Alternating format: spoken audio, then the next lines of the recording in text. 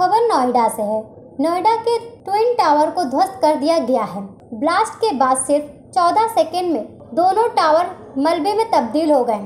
ध्वस्त किए गए टावरों में एपेक्स 32 मंजिला और सेन 29 मंजिला शामिल था, जो एमरॉड कोर्ट का हिस्सा था। दोनों टावरों को निर्माण के संबंध में कई नियमों का उल्लंघन पाया गया था, जिसके बाद मामला पहले इलाहाबाद हाई कोर्ट और फिर सुप्रीम कोर्ट पहुँचा। लंबी कानूनी लड़ाई के बाद फैसला रेजिडेंस वेलफेयर एसोसिएशन के पक्ष में गया और ट्विन टावर को ध्वस्त कर दिया गया है।